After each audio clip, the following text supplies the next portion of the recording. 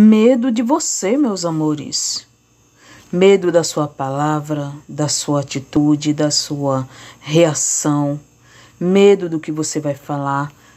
Já sabe que você vai desabafar, né?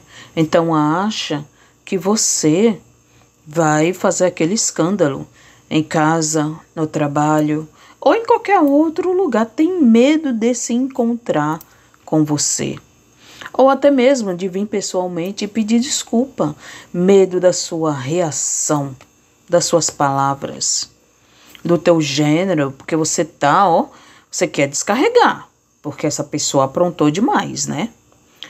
Hoje tem medo de dar cara com você, tá?